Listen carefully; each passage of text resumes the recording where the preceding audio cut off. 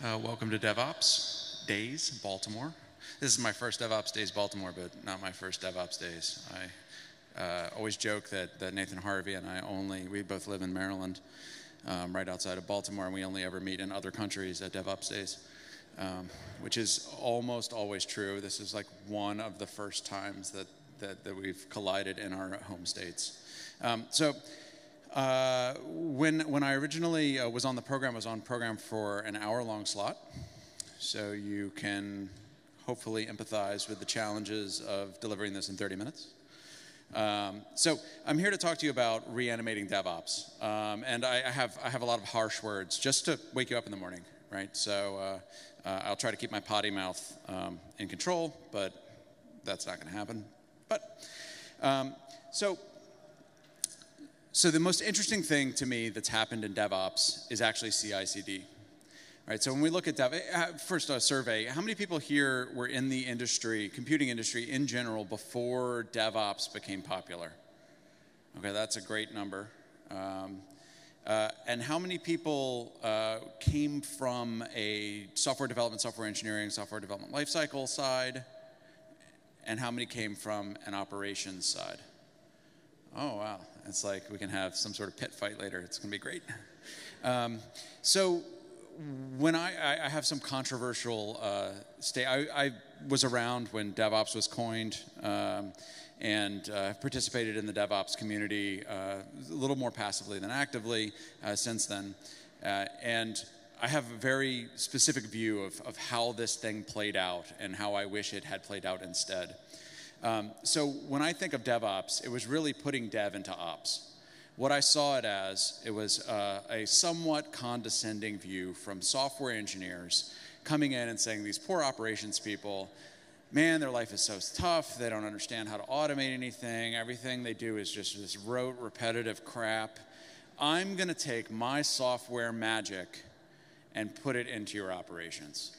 And the two things that I would say that came out of that that were really fantastic were CI and CD. So the idea of automating the software engineering, um, software development, software release, release engineering, release management, and even deployment, which overlap a lot with ops. So it was really, really amazing. So it was a way for organizations to really move faster, and it required a tremendous amount of collaboration between development and operations to do this. Um, so this talk is about reanimating DevOps um, from, a, from a corpse. And carcass may be a, uh, a bit harsh, um, but then again, it may not be um, that harsh. Um, so, so what does it, it, it, look like, right? So the, the, the, reason that CI and CD became so important is because, has anybody ever launched, uh, like deployed software before? Okay, um, Keep your hands up if it worked. Right. right. So we keep deploying the software, and the software is junk. And uh, so the interesting part of all of this is that what really happened was that uh, I want to make sure this is the right slide. This is the great. Okay, so the one on the left. All right. So um, software engineers really had this idea that that operations people struggled so much trying to deploy software and and the, the, the, fact that they couldn't automate things um, they you know they really needed help. And operations people were just like can you just please not give me shit software?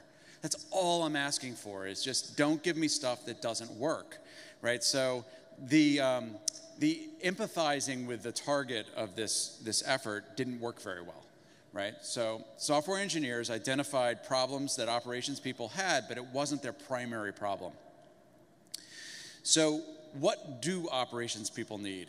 So, what I want to leave you with is the part of DevOps that never really came to fruition out of that. We have put a lot of software engineering practices into operations. What we didn't do is put a lot of the operations, blood, sweat, and tears, and operational practices and techniques into software engineering.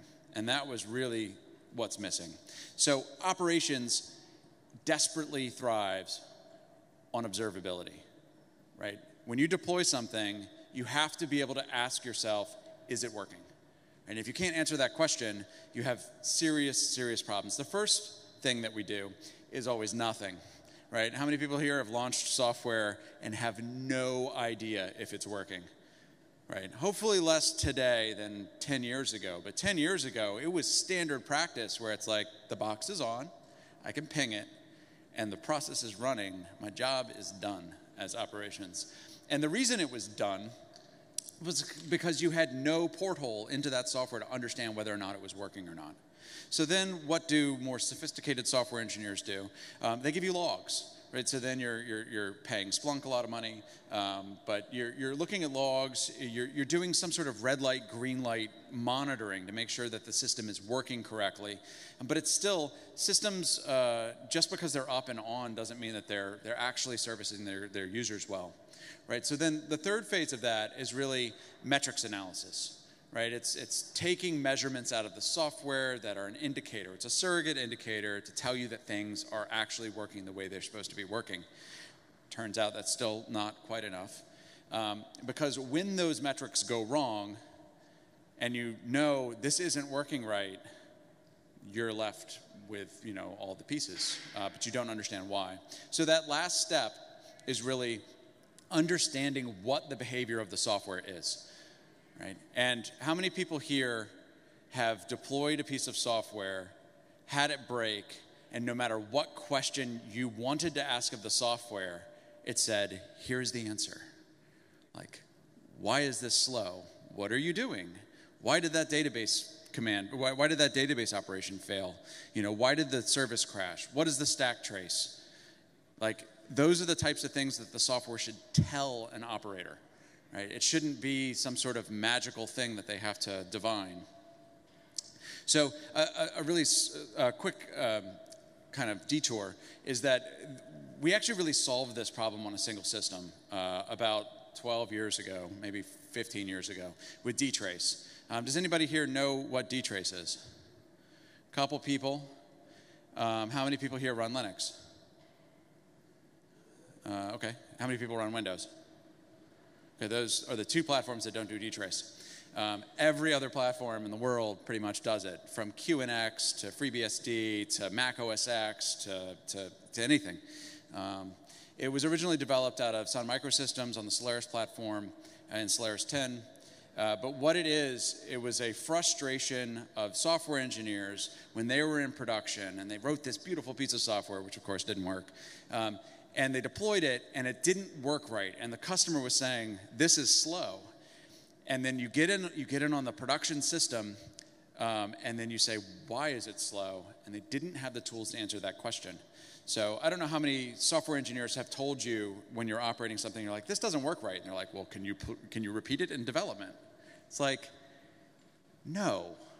No the problem is here. Go fix the problem um, so the idea of being able to interrogate a production system when it isn't working is the holy grail, right? I don't want to have to f- uh, repeat the problem in a development environment because one, I may not repeat the, the same problem. I may struggle to repeat the problem. Um, and in the end of the day, that one production problem that I can observe is the real problem. So dtrace um, actually solved kind of all of that. It allowed you to um, uh, instrument basically anything in the system. Uh, system calls, HBA adapters, everything from the hardware performance counters all the way up to lines of Ruby code and stack traces, all in one simple language that looked a little bit like awk where you say, when I reach out over this TCP socket and I write some data that looks like this, give me a stack trace and tell me how much memory I just recently allocated. You know, like weird questions that one would say, why would you ever ask that question? And an operations person says, don't judge me, right? You're in, you have a problem. You need answers to your questions, right? So uh, recently, uh, eBPF came out in, in Linux, and we actually have uh, a bright future now. So eBPF is, is plumbing inside of the Linux kernel um, that really allows for building tools like dtrace. So it is pretty exciting times. We are in the beginning of those times. So um, really quick, um, a, a, a, story about web monitoring. Does anybody here run a website? Yeah, or use the web, you know? Okay, cool. You're not all like an app nation. Um, so, uh, has anybody used like Google Analytics or some other tool like that, right? Okay, so rewind to 1997, 1998. Um, did anybody actually run a website in 1998? Am I the only? Like three hands, four hands. Okay, all right, we're old. Um, so I'm going to give you this insight. It's going to make you just blood drain out of your face. How did you know that your site was up in 1998? Right? Well, one, 95% of people didn't know, didn't know they had to care. But the other 5%, we ended up paying inordinate sums of money to companies like Gomez and Keynote to ping your site every 15 minutes to make sure it was working. And when it came back with a green report, right, you can do the math on that. It's four times 24 times per day. You were like, 100% uptime. I'm perfect. This is great. And you're all laughing, right? You should be laughing, right? Checking your site is working every 15 minutes should give you about zero confidence that it is available, accessible, and performing. That is the dumbest thing that we can do with today's technology. So what do we do instead, right? We embed analytics into the web page, and every single person that actually visit the, visits the site ends up reporting things to you like performance data and availability data. So you actually know, you know, obviously don't know who didn't show up, right? If someone tries to access the site and it completely doesn't work, they don't report, they report nothing, right? And that's a little hard to track which is why we still ping our sites every five minutes, usually every one minute. Um, but most of the data that we have about the performance and the availability of the system comes from this real user monitoring, right? So, real user monitoring for the web is obvious. Now, I'm going to paint a picture of today, which is how many people here run infrastructure at all, like any systems, like a Linux box or Windows box, or you know, if you're happy and have dtrace with a FreeBSD box. Um, how many people like ping it every 10 seconds or minute to ask it questions like, is your disk full or are you on? Right? Oh, yeah. Well, it seems kind of interestingly dumb like the other system that we did 15 years ago, 20 years ago. Right? The idea is that you know that computer's actually doing stuff. That's its whole point, right? It's actually running software, it's servicing users, it's making TCP connections, sending packets, all that stuff every one of those things you could potentially measure to see how it's doing. Right? That is the future of what this is going. So when we're talking about data explosion, instead of pinging a box every, we used to ping them every five minutes, then we ping them every one minute. Now some people say, well, I ping it every 10 seconds. You know, that's fast enough. It's like, okay, do you realize with like 72 cores in a box running at, at you know, 2.6 gigahertz, a computer actually does a lot in 10 seconds. Like a lot, a lot, a lot, right? Billions and billions of things in 10 seconds. And any one of those can have an aberrant latency that can cause problems for users. Um, it, can, it can go off the rails. Um, so, so actually observing the entire stack of that and all of the behavior that happens on the system is going to happen. So the problem is, is that is an information scale problem, right? When we look at, at um, Moore's law, um, that is that technology tends to double every 18 months. So if you do that math out from 2000 to 2017, that's a 2,500 fold increase, 2,500 times um, the, the size of, of data ingest. So we're starting to look at um, things like an exabyte a day coming in to architectures if you start doing all of that. And people are like, what? Like exabyte, that's insane. No one's going to do an exabyte a day. So I'll rewind 20 years and say, we have a terabyte of RAM in boxes. And if you told that to somebody 20 years ago, they'd be like, yeah, that, that will never happen, ever. Like, that's crazy. There's like one box in the world that needs that. Who cares? Everyone else will scale out. Like, we have racks and racks of boxes with one terabyte of memory. Right, so this, this is coming. So 15, 20 years from now, the idea of people tossing around their dollar a month exabyte cloud uh, storage is totally going to happen, right? And the data that you're going to put in there um, is not necessarily information overload, but you definitely have to have tooling around making sense of it all. These are the problems that are coming. Is what do you do with that? So, kind of back to systems that are broken. So, there are two methods for dealing with systems that are broken. One is because in this previous slide, uh, backwards. We don't have an exabyte of data. We cannot write this. If I observed every single thing that happened on any of my systems, I would explode my information space. I'd never be able to store it. I can't really make sense of it. So I can't store it all. So there's two things that I can do. I can either store it all in aggregate, throw away critically uh, important details about that, or I can sample that. And anybody who tells you that one of those is right is completely wrong. They're both right. They're two entirely separate approaches. One of them is that you sample data, so every 100,000th transaction or every transaction that has like a known anomaly, you end up tracing really, really detailed information about it. Everything you can think about that piece of, uh, that, of that transaction. And you keep that. And that's really useful for understanding the, the, the nature of transactions in the system and debugging problems. Um, but then there are 100,000 other things that happened in that system that you, you don't know about. And what you want to do is you want to store everything, but you can't. So what you do is you end up storing behavioral data about that. It's like how long those operations tend to take, and you, and you aggregate that data.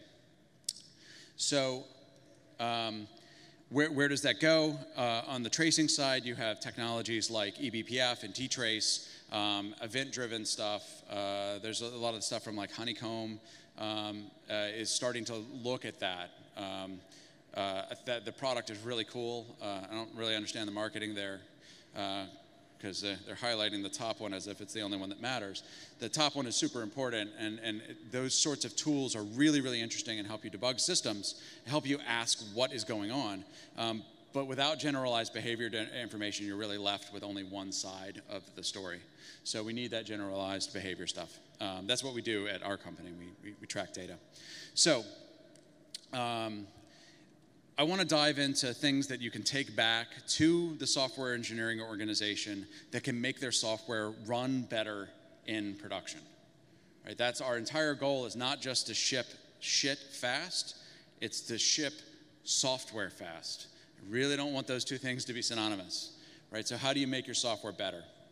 Um, and the first and most important thing that we can learn, and this is much more important now that we have distributed systems everywhere. Um, I, I, studied at Johns Hopkins. I was in the Center for Networking and Distributed Systems there. I ended up leaving sans a PhD after spending way too many years there. Uh, if you get me drunk enough, I'll tell you the story. Um, I left and said, I will never debug distributed systems again. And here we are. So that sucked. That did not work out how I planned. Um, but the one most important thing you can do in building a system, in particular a distributed system, is understanding how to fail with grace. Right? You need to fail quickly and safely. Um, and I would say that the airline industry is a great example of anecdotal stories around this. You have engines fall off of planes and they still land and people, people survive, right? So the idea of like when things go wrong, you don't want to just keep trying, right? The engine falls off the plane. It's like, eh, we might make it. You know, that's not how you do it. You say, this is the procedure, we're going to shut this down, we're going to turn it off as quickly as possible. Um, and then the way that that happens in distributed systems is much more complicated because all of the adjoining systems need to accommodate that, right? So when people say new software is really designed for failure, uh, that is a layered cake of truths and pains. Um, so any part of your system can fail at any time, and, and being able to react to those different components and their, and their states of uh, uncooperative nature um, is really important. So there are a lot of techniques in doing this. I'm not going to dive into those, not enough time. The second rule is that autop- autopsies are not just for medicine. Okay, the days of old IT when the computer froze up and the mouse didn't work and the IT person came in and said, well, if you just restart it, everything will be fine, is not an answer. Okay, these things, when you do 100,000 transactions through them, you're going to have them again and again and again, and you're going to screw more and more users um, as your system grows. It is not acceptable to have a failure in your architecture, especially one that repeats, that you cannot explain. You have to get to the bottom of the problems. Um, computers are so much better. This is not how I want to say that. This is being recorded. S- computers are so much easier than children. Um, right? So I go to work and I tell a computer what to do, and it pretty much always follows my directions. You know, aside from a couple of microcode bugs, but even then they're following someone else's directions. There tend to be very few um, scenarios in which a computer is actually um, malfunction in a non, malfunctions in a non-deterministic way. My children are entirely non-deterministic. Um, so there isn't, because this, the system always follows your instructions, it means when it screws up, it did what it was told. It's very likely it's going to do the same thing again. Um, so the days of did you turn it off and on again really need to end, and even more so in large scale deployed distributed systems. Another one, which if you've been to any software engineering conference, you've probably heard, uh, is using a technique of circuit breakers. And this is about failing gracefully. So there is a very, very big difference between being electrocuted um, and being shocked, right? So when something is about to fail, trying harder is usually not the right answer. You actually want to have the circuit breaker flip. So you really need to design tolerances in your systems so that when a component or an interaction in that system uh, it starts to go wrong or goes too slow, um, then, then it doesn't just keep piling on more work. Um, so our traffic systems, and everybody love the traffic right here. Anybody come from DC? Yeah, there you go. Enjoy going home. Um, so that is a great example of a system unlike uh, out, out west uh, you know, on, on the on ramps out west, they have the red light, green light um, indicators to flow control traffic into the into the highways. Um, I I have know of like one road around here that does that, but I the the Beltway certainly doesn't do that. And what happens is you get three and a half hour backups because when the road slows down, there is no way for the underlying system to stop putting traffic into the problem right? It just adds more traffic to the problem. Um, and this doesn't work well. It, it really, really doesn't work well. Um, if you look at some research about uh, self driving cars, um, they tend to go a little bit slower and they leave more cushion between cars and they tend to not have traffic jams because of that, because there's no jerks. They're all driving the same way. So by uh, by uh, putting circuit breakers into the system, you actually can control the behavior of the system better right? It's much better to have, you know, 50% of your traffic turned away and 50% of it served well than 100% of it served poorly, right? And uh, if you serve all your traffic poorly, when I say poorly, it means that your your web page doesn't load, the images don't all load, you can't check out. Like it's great to go and shop, and then you can't pay, right? Like what do you do? Anybody know what you do? You go to Amazon. They don't have that problem right? So now you've lost business, Amazon's got more business. There's a reason that, uh, that, that Amazon designs the systems the way they do. Um, and has anybody ever had a service failure in Amazon? Yeah. Has ever anybody had a really frustratingly long load experience with Amazon where you thought it might work, but you just couldn't get it to work? Because I have never had one of those. When I go to Amazon, it doesn't work. It doesn't work. It's like we're we're overloaded. Sorry. That's it right? And the reason is is because they are gating traffic in. They only want to let, let enough customers in where they know they can deliver that service. If they let too many in, it degrades service for everyone um, to the point where they abandon. So, uh, rule four is that you cannot, under, you cannot understand uh, what you cannot measure. All right, so so many times in, in software, uh, you know, there's data structures and algorithms and, and, searches that are running. Everything that you do has a performance. Uh, if you launch an API service, people are hitting that API. It takes a certain number of microseconds to service that call. I don't know how many times I've gone into an organization and said, how long does it take for that API to call to run? It's like, man, that's pretty fast. Like, what, what does that mean? What, what, that's, not a, that's not a speed. Fast is not a speed. This is not the Ricky Bobby of, uh, of API services, right?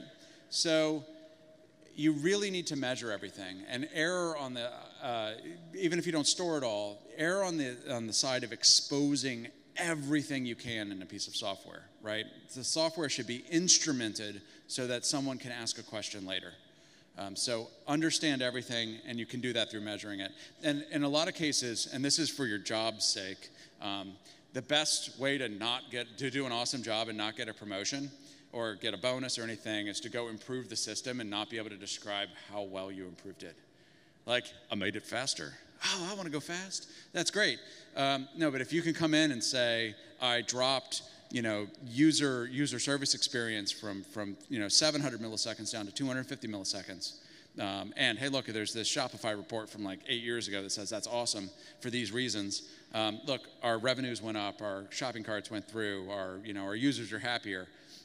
If you are measuring those, you can see the impact of your work and your colleagues' work. And there is nothing worse than being able to. Well, there is something worse than being successful and not being able to show it. That's being horribly unsuccessful and being fired. Um, but it's very frustrating nonetheless. So um, you measure to understand. Um, and one of the reasons that we measure, and it's a predicate to this, is that um, a lot of times in operations, this is one of the reasons that I railed against uh, operational culture for a very long time, is that in operations, people just expect you to keep the website up, right? And with a phrasing like that, if it's not up, it's down. That's 100%. That's perfection, right? The idea of aiming at 100% uptime and 100% service quality is the dumbest thing that any organization can do because you can never exceed expectations right? And, and you should never set up your environment that way right? The, the, the culture in the company needs to measure things and they need to use that to build in what we call failure budgets right? You need to have a budget for failure. You need to say that maybe my site only needs to be up 99.9% of the time right that's actually a pretty loose constraint right? My site's down all the time because Amazon's only up 99.9% of the time. Um, but if my site is up 99.99% of the time going into the end of the month, I can go down. Why would I not go down? Still meet all my, my constraints, right? Why don't I take those risks? Why don't I launch those features that were marked slightly unstable and test them out in production where I can get faster feedback more valuably and still be able to deliver on my, my quality of service requirements and my, my service level agreements. So, by measuring everything and defining what your uptime is and what your performance is, it means that when you do better than that and you are st- more stable than that, you can introduce the risk that allows us to all go faster, right? So, DevOps in general is around moving organizations faster. That's not actually true. It's about de risking the speed. And this failure budget methodology allows you to de risk speed. So, and my last one is that while justice should be blind, operations should be not blind at all. It's, it's, a, it's a sad thing. I love this picture, it's my favorite. Don't show it to little kids, though. It's kind of freaky. The Kermit the Frog in the, in the hand. What did they do to him? Um, so, when you are in production, the only failure that matters is the one that you're experiencing right now. So it's absolutely critical that everything that you do in developing software and all the practices that you apply in operating that software can lead you to diagnosing that failure in reality, like as it is in production. Repeating failures is both uh, highly error prone and very elusive. I've seen software uh, uh, architectures where you have a bug report from a, a customer and an engineering group of three or four people spend three weeks trying to reproduce the error in development so that they can fix it. Right? Go into production and just figure it out. And if you wreck a train car in there, you're allowed to in your environment if you have an error budget. Right? So you can actually go and look at these things live. Um, I, I, I, do say that, that um, uh, GDPR and other things like that uh, make it a little bit more difficult um, because as you go into production, you as a as an engineer are exposed to information that you may not be uh, allowed to be exposed to. So this complicates things. Um, but there are ways to do that using canary systems. So you have production environments that don't take normal production traffic, right? But it is in production. It uses all the production systems. And when you have a problem, it's a lot easier to, to, to, divert a problematic user to that canary system or infrastructure than it is to repeat the entire problem in a development environment. So there are methodologies and techniques that we can use when deploying production systems that give us access, easy access, to um, isolating existing production problems so that we can solve them. Um, and that is, that is it. So if you do those things, uh, you will be much happier people because your shit won't be broken all the time. Um, and that's it. Thank you very much.